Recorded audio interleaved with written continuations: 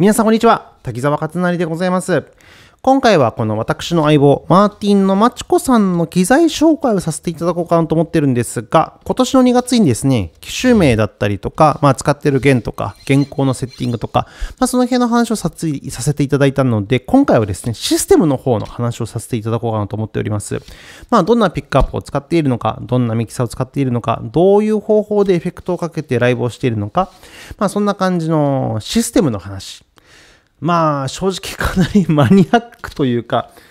ねあのこの話を聞きたい人はどのぐらいいるんだろうかっていうぐらいすごいニッチな話なんですけどもでも逆に言うと、まあ、僕みたいにこうフィンガーピッキングしたりとかこう叩いたりとかするギタリストさんってねもう誰もがですねすごいこのそれぞれのうんなんか環境で試行錯誤を右往左往してるわけなんですよ。宿泊をしてるわけなんですよ。だからみんな本当ね、それぞれなんか十人十色のスタイルとかシステムとかですね、答えを持ってたりとかするんですけども、とりあえず私は2024年現在、滝沢勝成のスタイルはこんな感じですと。まあ僕自身も今これに対して100点満点の満足をしているわけではないんですが、とりあえず今のところこんなことをしてるよみたいな感じですね。結構参考にしたい方もいらっしゃるかと思いますので、そんなシステムの話をさせていただこうかなと思っております。結構、ところどころではあ、そうですか。はあ、みたいな 話もあったりとかするんですけども。まあ、ぜひお付き合いいただけたら嬉しく思います。よろしくお願いします。とりあえず、このマーティンのまちこさん、2つのピックアップを搭載しております。片方が、みんな大好き、LR バックスのアンセム。まあ、大好きってことはないか。まあ、大人気ピックアップですね。使ってる人すごい多いかと思います。で、もう1個がアーテックっていうメーカーの聴診器みたいな、うん、コンタクトマイクって言ったらいいのかな？貼り付け型ピエゾって言ったらいいのかな？ちょっとわかんないんですけども、なんか聴診器みたいなのがあって、それをこうペタッと貼り付けてやるというような、そんな感じの状態です。で、LR バックスのこのアンセムは、アンダーサドルのピエゾ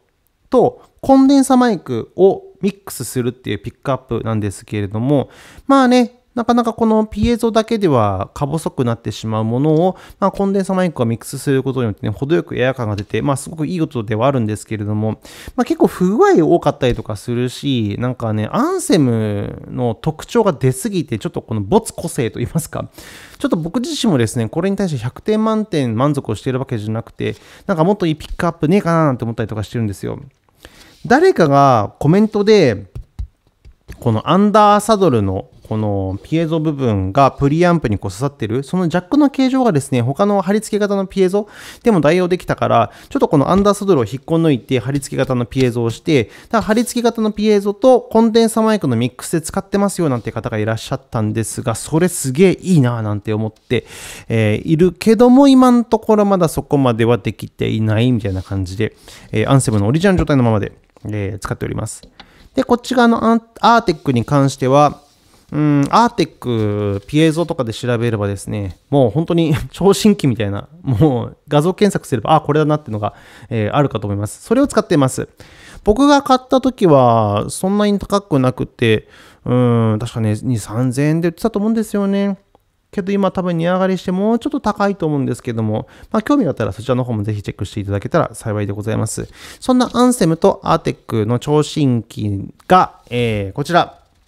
RME の UCX2 というオーディオインターフェースに行きまして、音をゴニャゴニャと出あのいじって、えー、ミキサーとかタクとか、えー、につないでライブとかをしているような状態です。この RME の UCX2、これもともとはオーディオインターフェースなんでレコーディングの機材なんですよ。けれどもね、このオーディオインターフェースね、ほんとね、むちゃくちゃ音が良くて、すごいエフェクトのかかりが良くてね、便利なの。本当に便利。めちゃめちゃ音がいい。RME 公式のうん歌い文句としては、えー、入力された音を忠実に再現しているっていうオフレコミなんですよ。だからそれだけ他のオーディオインターフェースとかミキサーとかにつなげると劣化があったりとか、まあ、信号ロスがあったりとかするってことなのかななんて感じはするんですけども、もうとにかくね、これにつなげるだけでね、めちゃめちゃ音が良くなります。なんか音がパワーアップ。なんか音の迫力が増すし、音の立ち上がりも良いし、で、音がもうハキハキしすぎて若干ギラギラしすぎなところもあるんですけどもね、本当ね、音の説得力みたいなのがね、めちゃめちゃこうレベルアップするんですよ。ただそういった音質っていう意味でもですね、この RME の UCX むちゃくちゃに重宝しております。で、今、画面の方にですね、うっすらと出ているんですけれども、これがその実際にそのパソコンにつないで UCX を操作する画面でございまして、このね、トータルミックス FX っていうソフトなんですけどもね、このエフェクトソフトもですね、めちゃくちゃに秀逸なんですよ。ちょっと後でこの辺の細かい話をさせていただきたいんですけれども、まあ、ちょっと細かすぎて、マニアックすぎて話を聞いてても、はあ、みたいな感じになることを受け合いなんですけども、ちょっと後でその辺の話もさせてくださいませ。とりあえず、えー、今見ていただきたいのは、えー、2箇所ですね。こいつ、こいつ、これです。これ、これ、アンセム、これ。これと、このアーテック、この2箇所だけ。それぞれ、えー、アンセムのゲイン、そしてイコライジング、そしてダイナミクス、つまりコンプレッション。で、アーテックの方もゲインとイコライジングと、えー、コンプレッサーを、えー、設定することができると。で、ゲインの量とかで、このフェーダーの量とかで、まあ、音の調整をすることができるという感じなんです。ちょっと音鳴らしてみましょうか。わかりやすくこのアーテックのゲインをブーンと下げて、このアンセムの音だけをちょっくら、えー、聞いてみたく思います。ちょっと鳴らしてみましょう。こんな感じの音。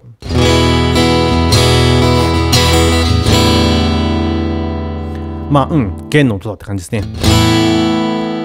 なんとなく、この弾いててもですね、うっすらとこのコンプレッションかかるようにしていて、で、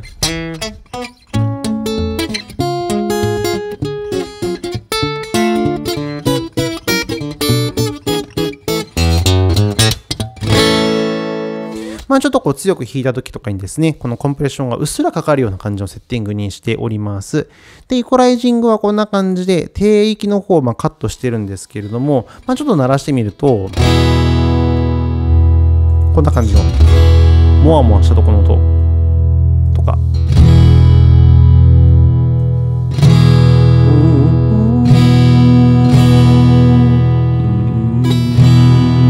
ぐらいのがカットされている感じです。まあ、この2つの帯域がなくなると、まあ、音がすっきりするんですけれども、正直これはね、ちょっと動画では伝えきれられないところ、伝えきらないところかなと思います。今、まあ、スマートフォンとかパソコンとか、まあ、イヤホンとかヘッドホンとかで聞いていただいている方もいらっしゃるかもしれないんですけれども、まあ、このマーティンのまちこさんから LINE で収録をして、LINE で皆様のもとにお届けしてるんですよ。正直ね、LINE だとね、分かりづらいです。で、僕がなんでこれカットしてるのか、この提供カットしてるのかっていうのもですね、LINE だとそんな変わんないと思うんですよね。これフラットにしてもこんな感じで、カットしても、まあ、こんな感じで。まあちょっと音すっきりするかなぐらいじゃないですか。けどこれね、スピーカーから出力して、大きな音を鳴らすとね、低音が回ってるなとかね、この辺の倍音ちょっとうざいなみたいな感じで、ね、結構ね、変わってくるんですよね。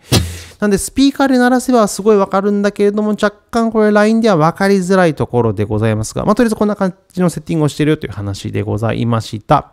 で、もう一個、えー、このアーテックを聞いてみましょうか。ちょっとこのアンセム、弦の方を、ブンとカットしまして、音を鳴らしてみます。そうすると、まあ、全然音が聞こえないと。で、えー、なんでなのかと申しますと、実はこのアーテックですね、これ、ちょっと今ボフ、ボフ、ボフって聞こえると思うんですけども、このね、バスドラの音専用のピックアップなんですよ。この叩くところの真裏にこうね、ペペッとこの貼り付けてやって、もう弦とか何も拾わずにですね、本当に完璧にこのドンをね、えー、拾うため、専用のピックアップ、そして出力だったりとかするわけです。で、これも、うん、さっきのアンセムと同様に、イヤホンとかでね、スマートフォンとかで聞いてるとね、なんかベヒベヒって言ってるだけでね、全然、なんだこれはって感じに聞こえると思うんですが、これもね、スピーカーで鳴らすと、もう本当、すごい壁がもう揺れて、あの辺の、あの辺の酒瓶がね、ガラガラガラガラってね、もう揺れて、で、なんかキッチンの中の皿もですね、ゴトゴトゴトゴトってなんかね、なっちゃうぐらいにですね、低音がボーンって、もうすごいこの迫力が出てくるんですよ。えー、そんな感じでこうね、ボンの音をむちゃくちゃ特化させてるという感じです。イコライジングを見ていただくとわかるんですけども、こんな感じで100キロ、100もう 100Hz 以下をですね、もう超絶重点的に鳴らしてて、もうそれ以外はいらねえっていうですね、もうすごく潔い イコライジングをしております。で、ダイナミックスの方もですね、こんな感じで結構全体的にがっつりかかるようにしてやって、えー、で、アタックは5。これはね、10ミリ秒とかね、0ミリ秒とかにしちゃうとね、音のね、飛びが全然違ってですね、結構いろいろテストした上で5だなっつって5ミリ秒に設定してるんですけども、まあこんな感じで、えー、すごい原因をがっつり稼いで、えー、これパのパシブのピックアップなんで、えー、すごいこっちで原因を稼いで、で、なおかつすごい極端なイコライジングをして、で、かなりがっつりと、えー、ダイナミクスをかけているというような状態です。で、これを両方とも鳴らしてみると、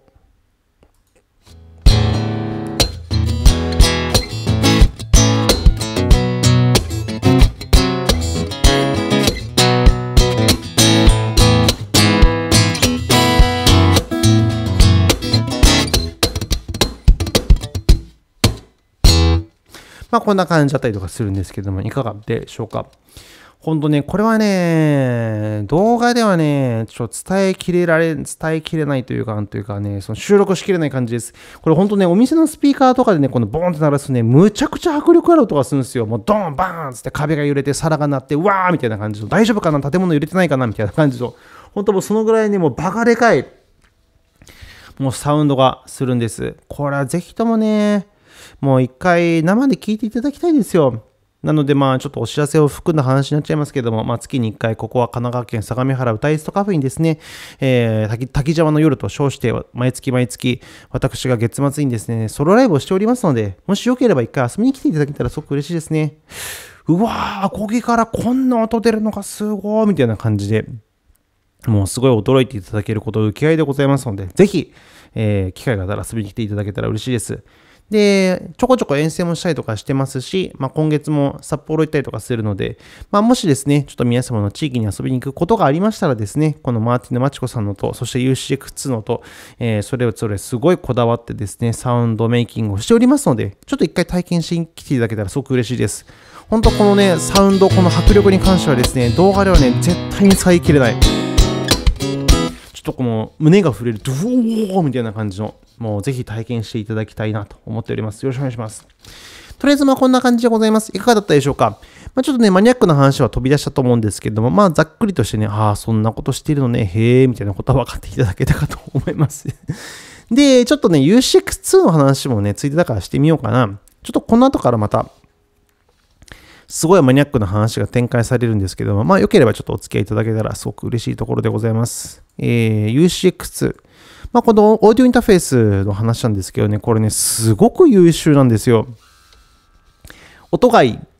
で、なおかつこのエフェクトのかかりも非常によろしい。で、各トラックにすごい細かいパラメータ調整であのエフェクトをかけることができる。で、なおかつそのアウトプットに対してもですね、いろんなエフェクトをかけることができまして、サブミックスってものですね、もうたくさん作ることができるんです。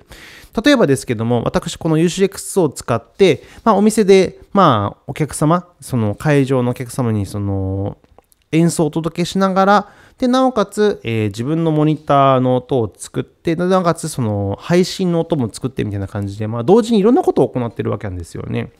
で、それを行えるのはですね、本当この UCX2 ならではでございまして、ちょっと順番に言ってみると、まずこれ、この 21K っていうのはですね、このトラックは、